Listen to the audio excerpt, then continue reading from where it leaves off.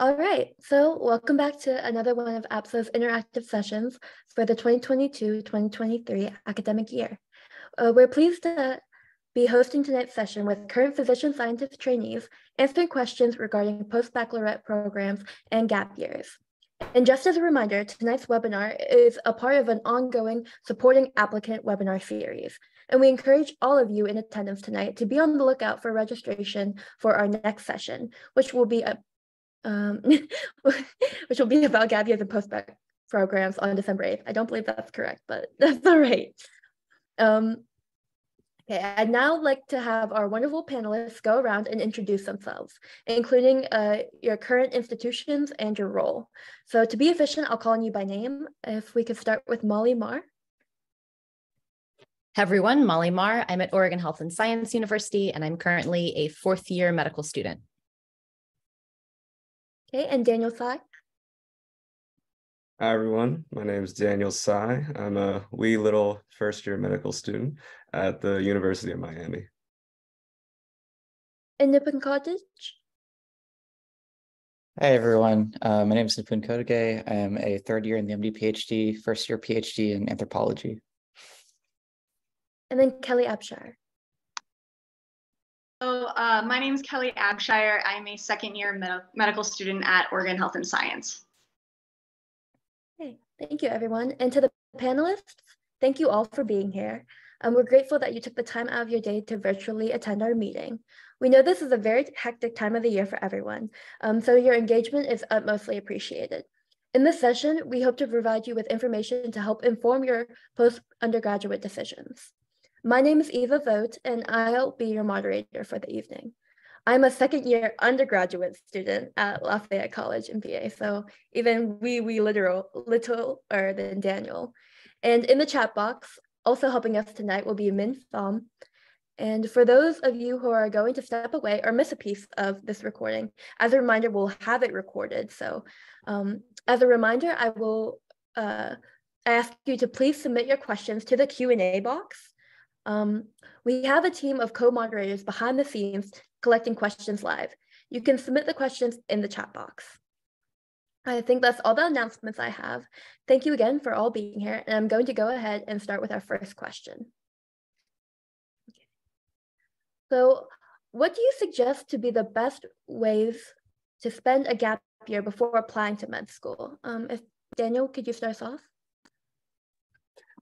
Sure. Yeah. I mean, it's it's helpful that the people I, I presume who are attending this meeting are interested in pursuing a physician scientist track because in that case, I think the answer is research. I guess to take a step back, I graduated from Duke in 2021, and um, the mentorship that I received from my advisors there, and this is just kind of general medical school applicant, was to do the thing that you're worst at, to try and, and strengthen your weakness. So for me, actually, I was told I didn't have much clinical experience. So on paper, my advisor told me, oh, you should go be a scribe, go be a, a tech, do something in the hospital to boost clinical experience. But then I told her that, hey, actually, I'm really interested in pursuing a physician scientist position and MSTP programs and MD PhD programs.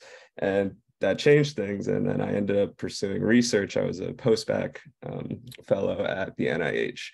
And that was a really rewarding experience. And that I think took me a really long way in terms of applying and even now just the research experience and being able to talk about an independent project that I truly did lead on my own like outside of undergrad is is huge.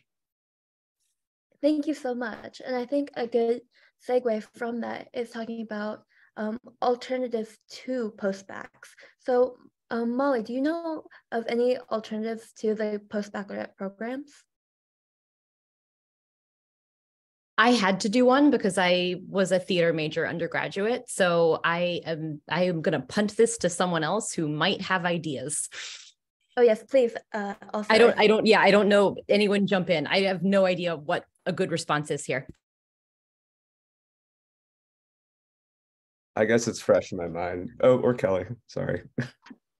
Well, I have, um, so I took three years off after undergrad, and I did the first year as just a research technician in a lab, and then I also joined the NIH as part of their post-bac program. So I've seen a little bit of both sides, and I think that you, like either one, works at the end of the day. It's almost dependent more on the PI and how much one they allow you to do and allow you to suggest and kind of take leadership over your own projects and as well as your own um, impetus to want to kind of do your own thing and suggest and put your work out there. So you can do a more just traditional research technician research assistant job. It's it's sort of what you make of it. All right thank you so much. Um, then something that you might be more apt to respond to molly um, so what uh, where did you apply for your gap year opportunities so, as I said before, I really was changing from one undergraduate major to another. And so I looked for programs that, um, and I think this could be helpful. I'm a low income applicant, and so I couldn't pay out of pocket. So I looked at universities and colleges that had a pre med program and job opportunities. So I actually worked at a school of law in order to get tuition remission so that I could didn't have to pay out of pocket for the post bac classes and a lot of a lot of colleges will have that opportunity available so look for pre-med classes and then just go to their job board and figure out what you might be able to apply into the downside for that is you are working full time and it was really problematic because my professors didn't have office hours during evening hours which made it really difficult uh, for me to be able to attend the office hours as needed. So I ultimately ended up switching to Hunter College in New York City, which offered evening classes and evening office hours, and then took on extra jobs to pay out of pocket. All right, thank you so much. Um, Nipun, uh, so what types of experiences did you look for when you had um, your gap year? Thanks, Ava. That's a great question. And it's great to hear from all the other panelists. Um, I think that kind of echoing what I've heard from the other panelists, like people do postbacs and gap years for different reasons. And I think like a lot of MD folks might have come in from like a non-STEM background and they'll do a postbac to be prep for med school. Um, and on the physician sciences training program, a lot of folks do um, like IRTA fellowships at the NIH. Um, and so for me, I was I graduated from University of Maryland in 2019, and I was looking for honestly some space to like do my research and to like apply at the same time. And so I applied to a bunch of like global like fellows, like kind of NGO jobs, and didn't get any of them. And so I worked with uh, a professor in criminology at Maryland who had been working with before. Um, and so it was continuing. He got me a paid position that was working on understanding the causes of consequences of gun violence in DC. And so in that role, I was kind of continuing a lot of the projects I had started in undergrad, but in more of like a, a manuscript and like kind of wrapping up research and like publishing it, uh, which was really nice because it gave me some flexibility for the actual like application process, which was pretty taxing. Yeah. Um, speaking about application processes, I know Kelly, you just recently spoke about how you had three gap years in between, and I was wondering, um, what did preparing for the MCAT and med application look like after doing undergraduate and during your postbac? Um, uh, I think it was actually probably a little bit easier than an undergraduate, actually. I took the MCAT twice. Once was um, the summer before my senior year of undergrad, and then another one while I was working. And I actually think that having a more structured schedule with a nine to five job helped me also uh, build a structured schedule for my study routine for the MCAT and also maybe the maturity that also comes with just being a year out of college um, helps. But it's, you would definitely have to add in some extra hours of the day um, but as long as you have a boss that is willing to work with you and was very forgiving of my, I'm going to take a day off, or like, can we take a break from talking about research and can you please edit my personal statement? Um, it's all about being communicative of your needs without letting, I guess, your work also slip in the background. Awesome, thank you. And uh, did you want to add to this?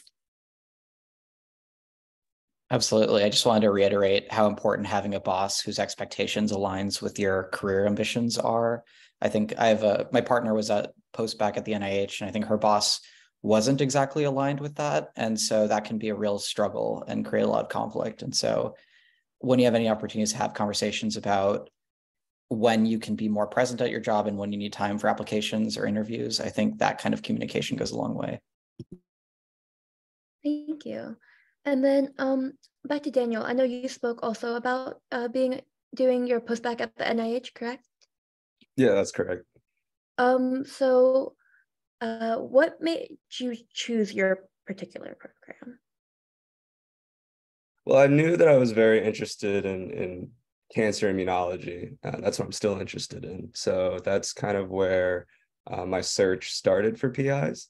Um, for those who aren't familiar with the NIH um, postbac program, the IRTA program, it's it's actually a very simplistic process. You fill out an application, so to speak, but there's no centralized committee looking at them and screening through them. You actually just kind of fill it out. It goes into a bank, and then you you yourself reach out, almost cold call um, PIs to come look at you, or they reach out to you if they saw your application. So you actually have really autonomy over who you're interested in. And I was mainly looking at um, labs who were doing cancer immunotherapy or cancer epigenetics. Um, I had a few options because um, everyone likes postbacs, everyone likes the cheap labor. But I ended up picking the one actually um, that which was just mentioned that was the most flexible and the most understanding of I'm applying to school because I only took a year off. So truthfully, my gap year was also my application years. And she we went into it with her understanding that I was going to leave for interviews and I was going to have to take time away. So I prioritized the mentor over anything else. Thank you. Um, and uh, Molly, I know you just spoke about being a theater major uh, for your undergraduate. So, how do you recommend exploring a broad range of interests or subject areas during your gap years? So for my gap years, I was switching to show the focus on medicine. So I I really sort of transitioned. I was volunteering on the weekends um, in the emergency department. I was doing the pre medical coursework I needed to do. Evenings, I was working a full time job, and to really sort of build the research aspect, I started working full time as a research coordinator in clinical medicine, and then sort of or a research assistant, and then moved up to coordinator, program manager, and sort of built on the research experience that way. Yeah, wow, that's amazing. First off, oh my goodness. Um, okay, and then uh, I want to move on to some unique or specific case, cases for the questions. So if any panelist is able to uh, provide any insight for these questions, please feel free to either raise your hand or unmute. Um, so it says, what advice do you have for non-traditional applicants? Um, we have a take me, for example, I'm a 33-year-old PhD preparing to take the MCAT.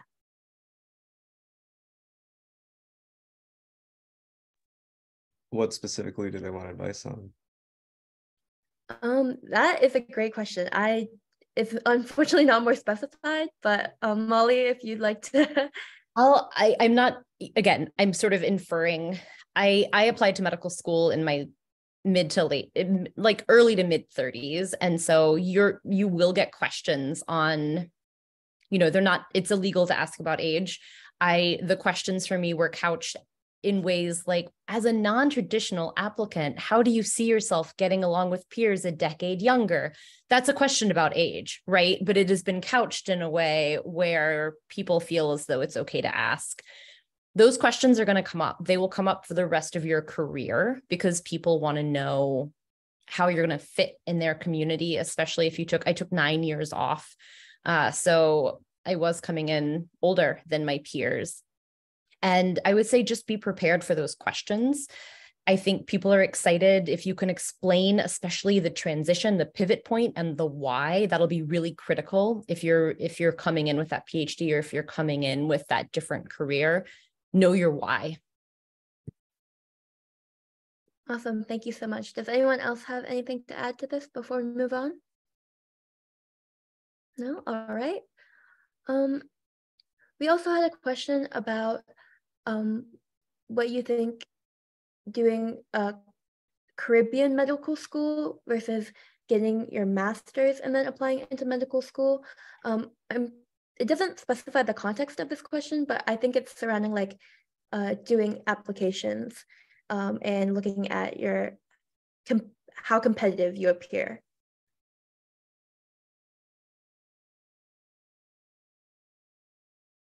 Molly, go for it. I can kick this one off at least. Um,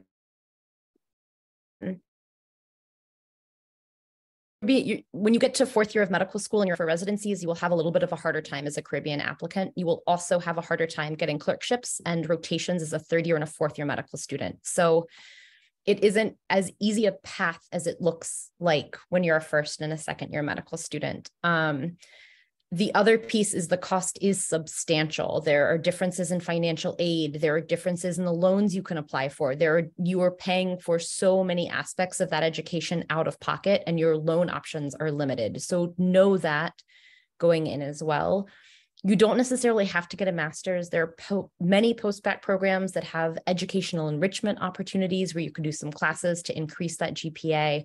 A lot of programs just want to know that you can do some graduate work without necessarily needing a full master's. So I would say look at all of the different opportunities if you're trying to use it for that, if you're thinking about the master's for that educational boost. I could hop into, I think that like one of I think there's like a lot of reasons why an applicant would be interested in exploring that path. And for me, I just reflect back on like what made me successful in my application process. And like part of it was that my like undergrad university, like University of Maryland, had a very strong health professions like advising office. And I know that's not evenly distributed. And so I think that if that's a path that you're pursuing because you're um, concerned about like your competitiveness either in like stats or experiences, I would maybe perhaps through this organization find ways to reach out to mentors and like think through what are way like what is put like moving you in that direction and see if there's ways to um, maybe even get opportunities through like work. Like Molly mentioned you don't have to spend a lot of money on a master's to be qualified to go to med school. You can do um, like research jobs or other clinical jobs that give you that exposure yeah, thank you so much. I love that insight, especially because it sets me up perfectly for my next question, which is frequently asked, but it's how do you find a good mentor and what questions do you ask or what do you look for in a lab? So um, I would like to hear from Kelly and then we'll go from there. Um, I would say can you one just like have a nice rapport with them? Do you get along with them? Um, for I, I think i've had a couple really substantial mentors that have gotten me to where i was today. Um, the one I had at the NIH, who I think I have a lot of thanks for, again, getting me into an MD PhD, was I sought him out initially because he was an MD PhD. So he knew exactly what the program entailed and what um, the expectations were going to be for me and was also open to working with me going through this application process. So I think it's be very open in your communication from the get go. Um, and don't be afraid to interview them as you are as they are interviewing you ask them what their expectations are of you um, like ask them yeah just ask them all the questions and um, that's that's i think my best advice all right, thank you. Um, but I feel like this is a great question. So does anyone else want to hop on board?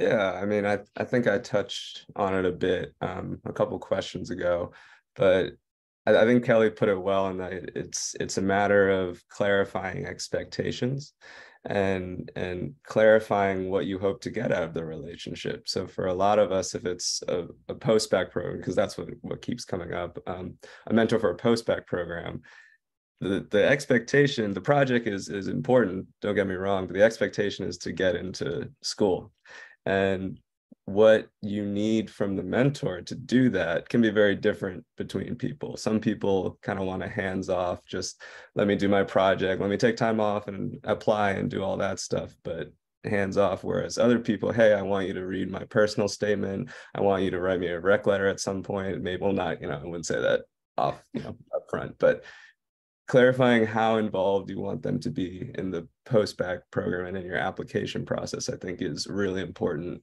when applying. And once you get into a program and you want to pick a mentor for a PhD, that's like a whole nother story. But in the immediate future for a lot of applicants, it's what can they provide you? What can you provide them? And hopefully it matches. Awesome. And so from the mm. Q&A box, I actually oh, have a question. Oh, Do you oh, mind sorry, if I hop in there? Yes, Yeah. I I think this like good mentors are like make or break, especially for an MD PhD application, because like um you have your personal statement, you have your experiences, but like so much comes out of your letters and the ways that people like vouch for you. Um and some caveats on that is that I'm a social science MD PhD, and I think for any physician scientist in general, like it's kind of hard to find MD PhD mentors. And so you kind of don't necessarily need to have a mentor who's like exactly the fit for your interest, but you should have someone that like emulates at least a part of your interest, whether that's your research interest or clinical. Um, and then like any other relationships, it's like red flags and green flags. So green flags might be like creating opportunities for you, being interested in what your like goals are, what you want to get out of it. Um, NYS opportunities, I mean like not just we'll get you a paper by the end of the summer, but like probably what's more important is taking intellectual like ownership over a project being able to like do the planning and design and have support. Um, i think like red flags i have a good friend who was um, at like a major research institution and they worked in this lab for like three years and their mentor said i won't write you a letter of rec for your application until you finish this paper.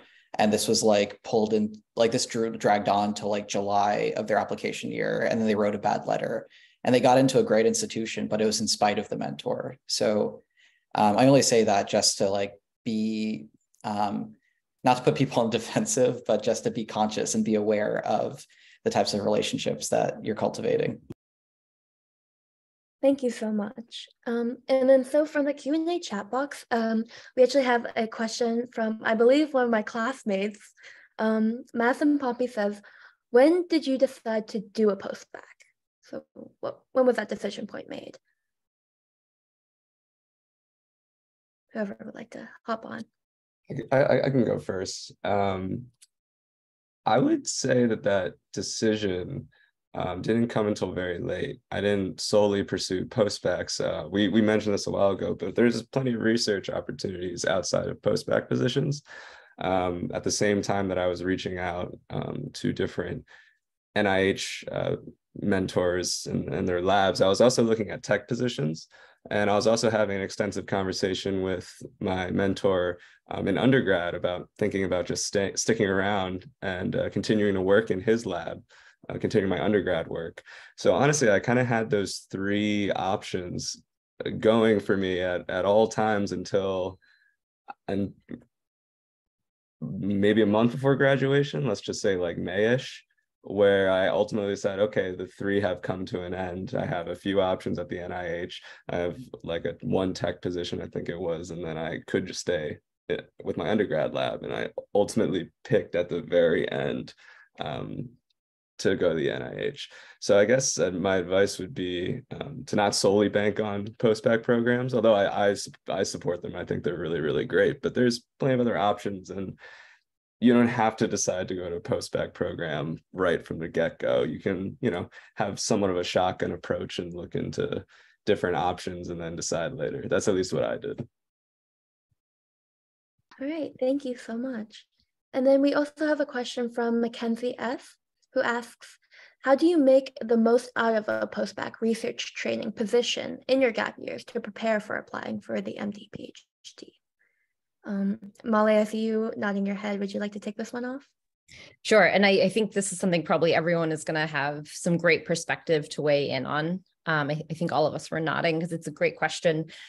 I think the clearer you can be with your goals, the better. And so I went in knowing I wanted to apply for an MD PhD program, knowing that I wanted experience with both clinical and translational research, and knowing that I wanted clinical exposure to a wide variety of specialties. And so I was really clear with my mentors, which were my employers as well, about I'm going to take time off. I'm volunteering.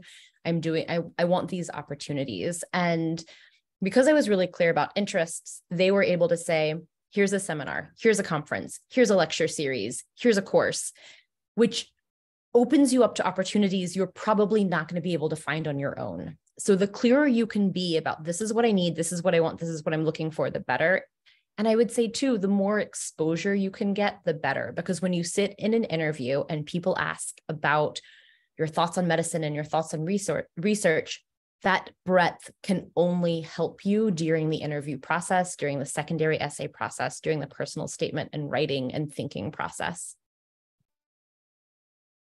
Great, thank you so much. Um, or Kelly or Daniel, have any? I got yeah. I mean, in terms of making the most out of it, um, I completely agree with Molly. That's all true. I think it, when I think of getting something out of a post-bac program, going to conferences, doing these kind of things outside of lab to really enrich your story are huge and really, really important. To add on to it, to kind of uh, give a different perspective, I think something that really benefited me in the interview process was how independent I was in research. Because before that, I was really, you know, I was an undergrad researcher. No shame on that. That's I love undergrad research. I loved it. It was the most fun I've had in lab. But I was never truly independent. I always had a graduate student above me, a postdoc above me. And something that really was beneficial from the post-bac program was be able to go into interviews, present a project and say, no, no one's above me. This is a project that I have, I'm running, I'm buying the reagents for, I'm analyzing all the data. This is something that I have complete control over for better or for worse. And then you are able to talk about it and having ownership of that and showcasing your independence. Some people have already done that. I didn't. But that's that's really big to get out of the program, at least from a very practical sense of applying and interviewing. Yes, thank you. Okay. Um, Kelly or Nipun, do you have anything to add? Or would you like to move on? no, no. okay. So how about actually before we move on, um, just as a reminder, uh, this session is going to be recorded. So a team of co-moderators are gathering and uh, submitting questions, which is where I'm pulling from. These questions come from the registration link and in real time, the chat box, Twitter, and virtual content committee email. So you will um, continue to have access to the FAQ document produced by the MD PhD director panelists. And I believe uh, Daniel, not Daniel Sai, but uh, our Daniel behind the scenes is going to be helping us, and he can put that in the um, regular chat for uh, anyone who's interested. Okay. Um, so a question we had regarding more so the application process were what were your essay topics and why did you choose them?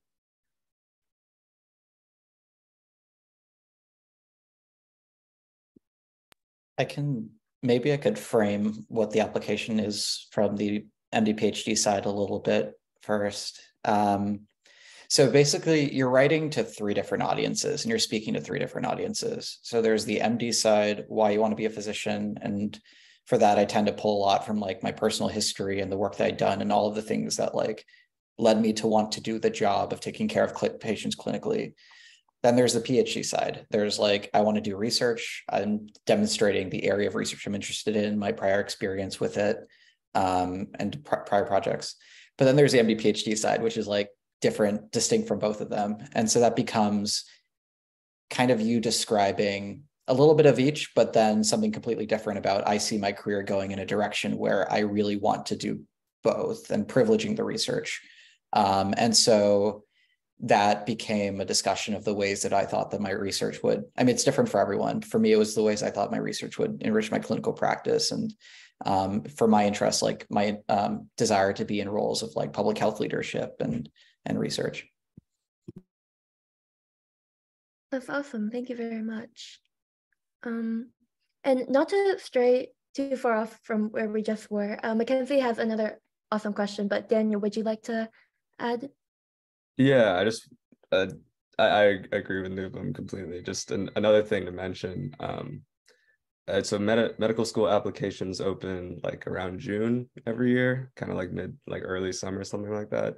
Uh, something that I was told very early on my senior year of undergrad that I, I was really glad I was told was to start essentially three essay topics. And that's in a very broad sense, I, again, I don't know if this is going to answer the question directly about what topic, but you need to be able to answer on the immediate primary application um, just a personal statement. So anything you want. Uh, why do you want the dual degree? And then a huge, just open ended essay summarizing your research. So answering what topics, I, I know I didn't do that, but those are the three kind of essays, three documents you should be working on from here to June. That's that's what I did, and you know, starting early always always makes it easier. Then you can just copy and paste into the primary application. No, that's that's awesome advice. Thank you so much for adding to that. Um, so, still, so Mackenzie. Oh, oh sorry, still riffing on that. Um, no, we um and then my pre-health advisor got me in touch with someone doing an MD PhD at a different institution and very early on before the application process we were drafting and they were like reviewing that in like real time and it was like many many many iterations of a lot of people looking at it like um it, it's a it's a it's a it's a cyclical process awesome thank you guys so uh, Mackenzie asks asks how do you make or yeah, how do you make slash any tips for the transition from undergrad dependent research to independent postbac research? Um, so I know Daniel, you recently had spoken about the that. So if you have anything you could add. Yeah, the, I mean the transition between so transitioning between undergrad research to postbac research. Um, it's tough. Running an independent project on your own is very tough. But I would hope that if you're applying to MD PhD programs, you probably have a good interest in research and you have the drive to figure it out. So, I mean, I think to aid the transition and understanding that that the first few months of your project and your time might be kind of slow and that's fine trying to figure out the nuances of a lab that you know an undergrad people probably did behind the scenes for you and i'm speaking for myself here you know i'm sure you know my the grad students above me bought all my reagents kind of set up the schedule and all that so doing that on your own is going to take some time to figure out but again if you're applying md phd programs we're all smart we're all really driven to succeed in the lab so you figure it out but i guess having an expectation that it's going to be slow for like two three months is is helpful all right and molly i see your hand is up I think it's worth clarifying that you are not walking in the first day creating your own project. You are working with a mentor. Your mentor has expectations about the work you are going to be doing for them. And so you were doing this independent project in addition to the work that the that the lab needs you to do as part of your job or as part of your post bac. And so for me, what I did is when I within sort of the research of the lab found something that I was specifically excited about or a question that I could bring that had not been asked before. I sort of developed that and then presented it to the mentor to my mentor and said, "Can I work on this? Can I develop this?" And then pulled off and developed that independently. But it came knowing how the lab worked, knowing how the procedures worked, how the data collection worked, and and all those details. And in addition to still doing what my mentor needed me to do, because they were the person that was paying my salary. Um, Nipun as well, if you'd like to add. Yeah, and I found that a really good mechanism for me to do that because in social science, it's like you're your own researcher, like there's not labs. And so doing like a departmental like honors thesis in undergrad really helped out, helped set that up for me. Um, and that was kind of the first time where I was like formally asked to like model those like the steps of doing a research project um, and also like applying for funding or presenting at conferences all of that kind of forces you to like lay out a plan even if like like sometimes you get the funding and you figure out how to make, like do a research project afterwards. And so it kind of gives you a template um, to pull things together. Great thank you. And then kelly? I just want to add that with any period of transition be nice to yourself. Like there you're going to make mistakes. You're going to have to ask questions and you're going to have to own up to like oh i did this wrong. Like how can i not do this wrong in the future? Um, even when finding an, in, an independent project within the context of a larger lab or a larger project don't expect for the first thing you suggest to be the winner. I think I suggested like five different projects before my boss and I finally decided on one to go after. So just give yourself some grace and keep on going, keep on making those mistakes and learning. Awesome. Thank you so much, guys. That was really great insight from everyone. Um, taking a step back, actually, how did you first get involved with your undergraduate research? And what kind of research did you do? Um, does it relate to how you, what research you're doing now? Or did you find yourself on a path? Did you do undergraduate research, etc.? Um, so Kelly, I know you just spoke, but would you like to start this one off? Yeah, so I I'm currently in medical school, so I'm not doing active research right now. But my last research role was um, neuroendocrine and behavior research. Um, and I started out doing genetics and Drosophila in undergrad. So I did not start in a lab that's reminiscent of what I'm doing right now. However, it was a great experience. Um, and what I did is I was interested in my genetics class. I liked the professor, and so I went up to him in office hours and asked if I could work in his lab, and he said yes. Um, and so after doing that, I ended up doing a honors thesis in the psychology department, again, completely unrelated to the research I was doing in his genetics lab. Um, but you just kind of, if something's interesting, go talk to the person, and you never know where it will lead you. Awesome. Um, does anyone else want to speak to that point? I'll, I'll, speak to also being in a Drosophila lab. Uh, I love Drosophila research. I think it's really conducive to an undergrad um, lifestyle. I, so I, I, my first time in lab, I did a um, internship at the University of Pennsylvania, like a summer internship um, in a in a molecular biology lab. And I pieced together that that while I really liked it and that's what I want to do going forward, it was very time consuming and it wasn't as conducive to being a student in undergrad, which is the priority is being a student. It, it wasn't as conducive to that lifestyle. So I looked for a topic and a lab where I was able to go to class, come back, do work for like 30 minutes, go to another class, do work for another 30 minutes. And that, at least for me, ended up being Drosophila research. And I also ended up really liking it, learning a lot of new techniques that in all likelihood I won't learn um, in any rotation or anything like that. So Drosophila research is is rare, but I really liked it and I I recommend it for anyone who's looking for something that works with undergrad lifestyle. Not to say that you know everyone's at a different point in their you know educational careers and molecular biology again I like it I think it's conducive to some schedules but not all. Awesome, thank you. Um, uh, yes, Nipun? I was um I was like double majoring in like chemistry and anthropology, and I was like, so I was in an organic chemistry lab for a while, um, and then I had been doing some work with Engineers at Borders, like doing like international kind of like nonprofit projects. And I pulled in one of my anthropology mentors, like after class, I was like, I think you're rad. Could you give me some advice on this project? Um, and so she ended up being involved in the project for a while and then became a mentor for my honors thesis in anthro. Um, and there was like a point in time where I was like, I'm gonna do two honors theses, chemistry and anthropology. But then like junior year, like midway through, I was like, absolutely not. We're gonna have to make uh we're gonna have to triage like what um what my research would look like to help push me in the direction that I want. So I went with anthropology in the end.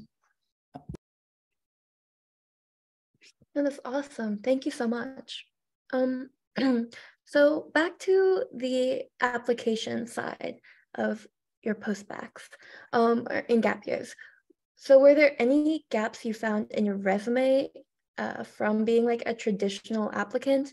And if so, how did you overcome or explain that when you had um, like through your essays and through your interviews?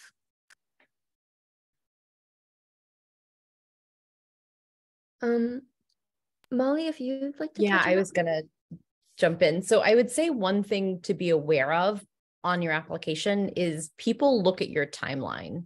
So if you say this is when you graduated and then you don't have something filled in, people are going to want to know what happened during that time.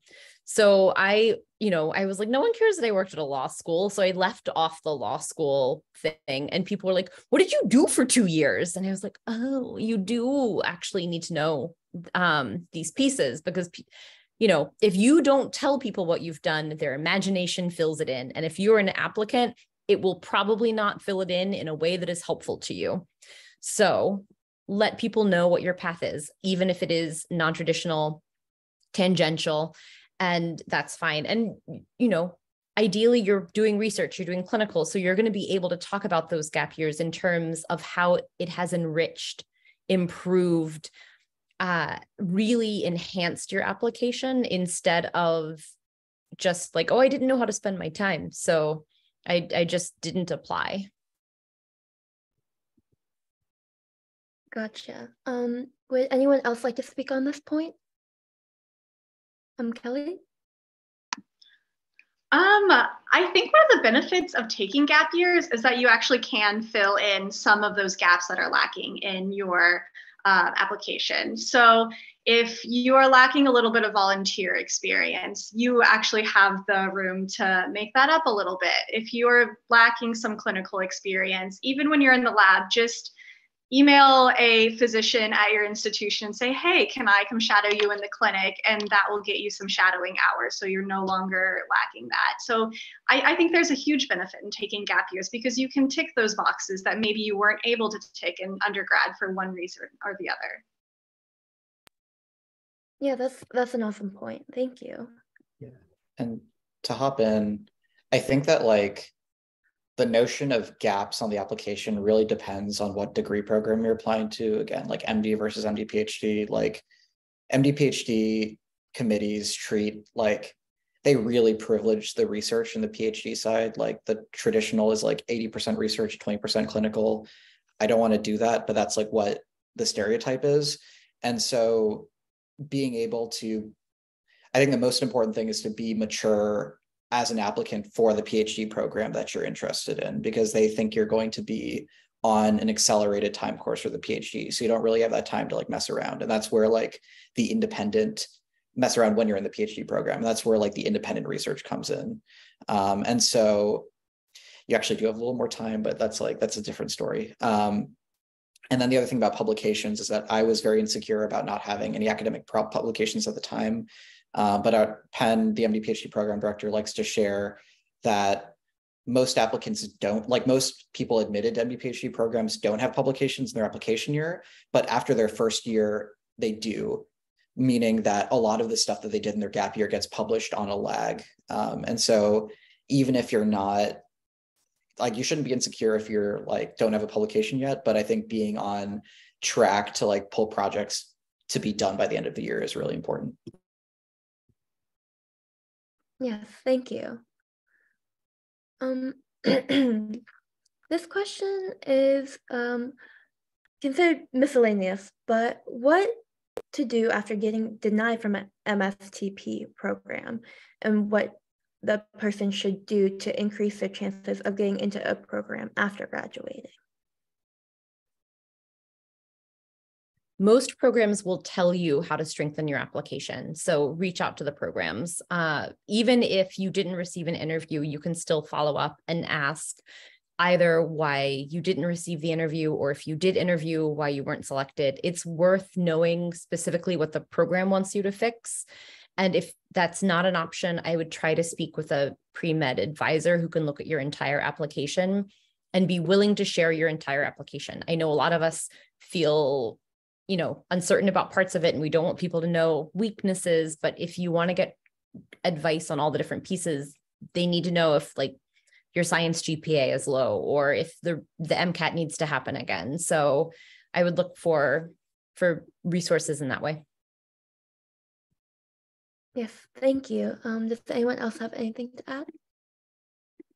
Yeah i think that's i totally agree with everything you said molly. And like um sometimes it's also like not on you either because i know in anthropology like some programs only admit every other year and so i um, sometimes it can also be like a fit between you and the program um, and then maybe it could even be um, maybe the thing that you're saying um, like you want to get out of an MD PhD isn't that well supported by what MD PhD like MSc programs do, and then that can create other opportunities for different places, like different types of paths that you can follow. So I think, um, but kind of going back to what Kelly said, like first off, like be kind to yourself and like you've got so much more like life beyond like the career. I know it's like it can be crushing because we put so much of our identity into these like professional goals, but like there is such a wide world and like finding ways to um I don't know, maybe like even just take space from it and like take a breather before you apply it might be great. Yeah, that's great. Thank you so much. And we actually we have another um, from the Q and A box. Um, an anonymous attendee asks, "What do you do, or what do you think is a reasonable threshold for lacking a certain experience? I think I've had at least 100 hours of clinical volunteering and 40 hours of shadowing. How much did you have when applying? Um, Daniel? Yeah, I think I'm actually a good person to answer this because I had almost those exact same numbers. Uh, as I mentioned, when I was about to apply, um, my my advisor at the time, my undergrad advisor, was saying that my two worst things, my two weakest um, weaknesses were clinical experience and volunteering. And I think on the primary application, I said, so I, I became a CNA. That's where I got my clinical experience from. And before I was a CNA in the same program, I was um, a volunteer companion, is what they called it, and slightly different roles. But anyway, I had, I think on the primary application, I put like 50 hours of the volunteering and like 110 120 something like that for clinical experience. Both of those are low. And that kind of goes without saying. There's plenty of applicants particularly who are pursuing uh, straight mds who have much higher numbers than that.